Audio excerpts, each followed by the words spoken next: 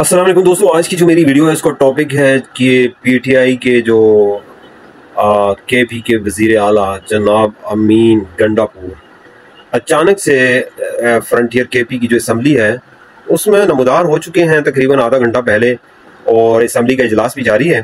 اور آج جو اسمبلی ایکچولی کال کی گئی تھی تقریباً دو بجے اس میں بہت سے اور بھی لوگ آگے تھے اور کافی زیادہ شور شرابہ چل رہا تھا اسمبلی میں دن سے۔ اور ابھی دیکھیں، رات کے دس بج چکے ہیں۔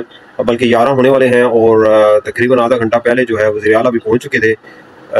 تو یہ اسمبلی کا اجلاس اس لیے کال کیا گیا تھا کہ ہمارے وزیر اعلیٰ جو ہیں وہ غائب ہیں دو دنوں سے۔ تو کو، تو بھائی یہ ڈسکس کرنا تھا کہ ان کی ریکوری کے لیے کیا کرنا ہے، کیا نہیں کرنا۔ ٹھیک ہے، ایک ان کے پاس آپشن یہ تھا کہ انہوں نے جو پی ٹی آئی کے لائرز ہیں ان کو بھی کال کیا ہوا تھا کہ بھائی آپ آج اتوار کا دن ہے تو کسی پشاور ہائی کورٹ میں ان کی رٹ جو ہے نا وہ کرتے ہیں دائر کہ بھائی صوبے کا چیف ایگزیکٹو جو ہے، دو دنوں سے غائب ہے، تو بہت سے کام جو ہیں وہ رکے ہوئے ہیں۔ ظاہری بات ہے، ان کے سگنیچر سے ہی سب کچھ ہوتا ہے۔ تو بھائی، ان کی ریکوری کے لیے کوئی آرڈر جو ہے نا، وہ ایشو ہو سکے پشاور ہائی کورٹ سے۔ ایک تو آپشن یہ تھا ان کے پاس۔ دوسرا آپشن یہی یہ بھی تھا کہ بھائی اسمبلی سے کوئی نہ کوئی ایسی چیز منظور کی جائے، قرارداد ریزولوشن منظور کی جائے، جو کہ فیڈرل حکومت کے خلاف ہو۔ کیونکہ ظاہری بات ہے وہ اسلام آباد سے غائب ہوئے ہیں جو کے پی ہاؤس ہے اسلام آباد کے اندر۔ ہر صوبے کا ایک کے پی ہاؤس مطلب ان کا K P house Sindh house Balochistan house جہاں سے جہاں آ کے جناب صوبے کے آفیشلز رہتے ہیں، تو ادھر سے وہ یہ غائب تھے۔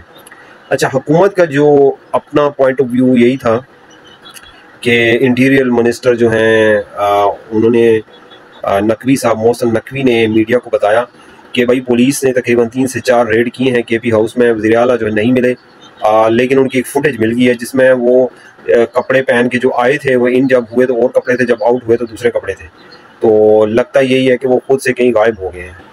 اچھا باقی دوسری رپورٹ میڈیا میں کچھ لوگوں نے لکھا ہوا کہ ملک چھوڑ کے بھاگ گئے ہیں، کچھ لکھا ہوا ہے کہ حکومت نے ان کو گرفتار کر لیا ہے۔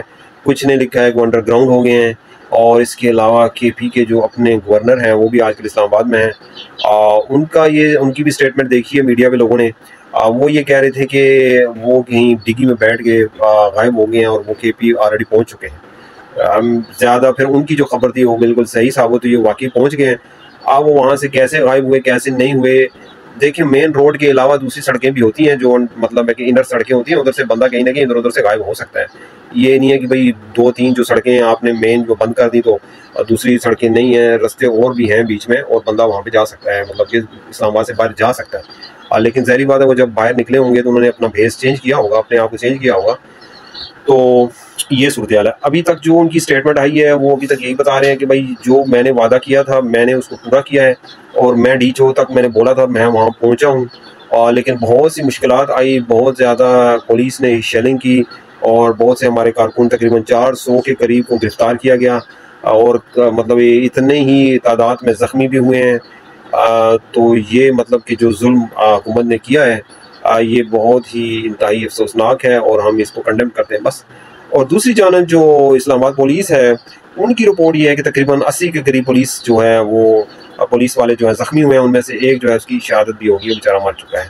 اور حکومت نے اعلان کیا ہے کہ یہ جو بندہ فوت ہو گیا، اس کے جو بھی اخراجات اس کی فیملی کے ہوں گے، وہ ہم اٹھائیں گے، ٹھیک ہے۔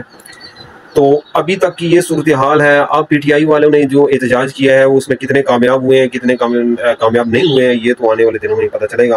اور اس کے علاوہ حکومت کا اپنا ورژن ہے کہ مطلب کہ کچھ ہی روز میں شنگھائی جو ہے، وہ اس کے لوگ آ رہے ہیں کانفرنس ہو رہی ہے۔ تو مختلف ملکوں کے سربراہان آئیں گے۔ اور ایکسپیکٹڈ ہے کہ انڈیا کا بھی کوئی نہ کوئی بندہ آئے گا۔ تو یہ اس کو ڈسٹرب کے لیے کرنے کی کوشش کے لیے پی ٹی آئی نے سب کچھ کیا ہے اور ملک کے خلاف دشمنی کی ایک مثال قائم کی ہے۔ تو بس کچھ ایسی صورت ہے۔ لیکن ابھی آرمی جو ہے وہ اس نے ٹیک اوور کر لیا ہے وہ سیونٹین اکتوبر تک ہی رہیں گے ادھر۔ سیونٹین اکتوبر تک رہیں گے۔ اسلام آباد میں جب تک یہ کانفرنس ختم نہیں ہو سکتی۔ تو یہ ہے جی آج کی لیٹسٹ نیوز آپ کے لیے۔ امید ہے آپ لوگوں کو پسند آئی ہوگی۔ اگر پسند آئی ہے تو اس کا لائک شیئر کریں۔ اللہ